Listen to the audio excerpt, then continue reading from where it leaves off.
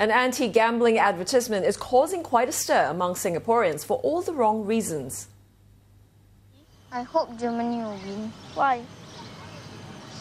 My dad bet all my savings on them. The ad, which has been played on TV and seen at places like bus stops, has drawn flack not only from netizens but some in the government too. Manpower Minister Tan Chuan Jin wrote on his Facebook page, Bad timing. Looks like the boy's dad will be laughing all the way to the bank. Minister of State for Trade and Industry, Teo Ser said, while Brazil needs to find out what went wrong in their match, he needs to find the ad's scriptwriter. But the National Council on Problem Gambling says it won't pull the ad.